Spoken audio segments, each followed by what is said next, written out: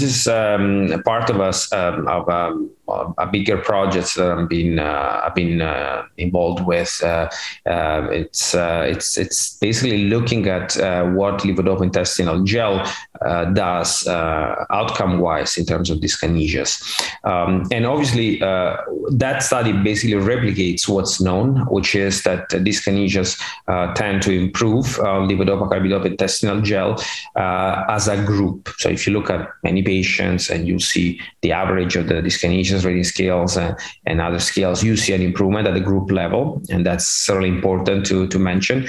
Um, there are, however, a few things to, to keep in mind, and that's the reason why this is an important topic to me.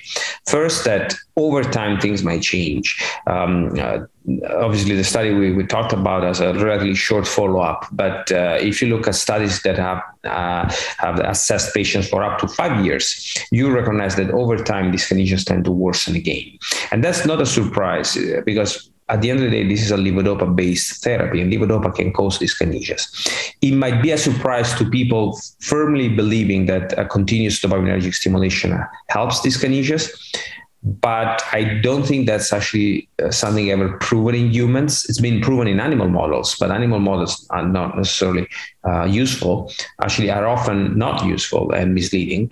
Um, so this idea that stimulating the receptors continuously improves dyskinesias is actually not true in my opinion and and, and infusion of levodopa shows this because uh, the reason why dyskinesias improve is because we get rid of peaks uh, so the patient has a steady curve, uh, uh, pharmacokinetic curve without peaks, and therefore there are no dyskinesias associated to the peak.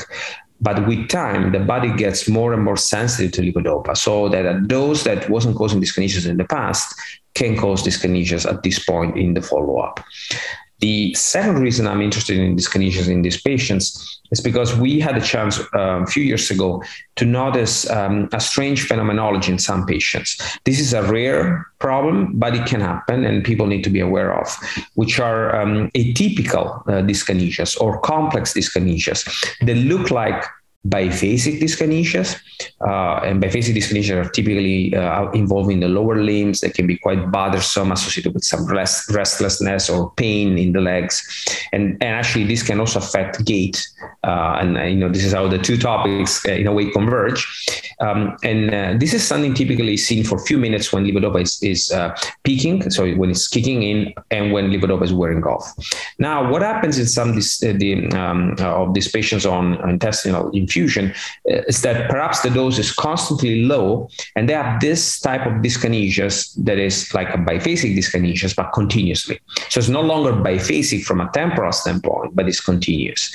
Uh, obviously, in these cases, what we do is simply increasing the amount of levodopa infusion, which works. But what we have seen over time, and, and this is linked to what I said a few minutes ago, is that these patients then won't have biphasic like dyskinesias, but they will start having peak dose dyskinesias. The rest of the body will be more, uh, more uh, mobile because the body gets more and more sensitive to these doses of levodopa. And if you lower the dose, you will see more of the biphasic type of dyskinesias. So sometimes it's difficult to find a happy medium. And to my surprise, I also seen some patients in whom the two type of dyskinesias are coexisting. And so there's no way to find a dose that helps one without worsening the other.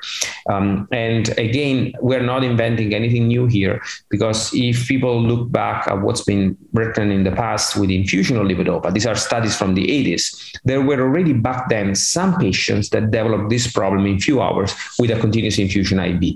Again, this was rare, but it was reported in few patients.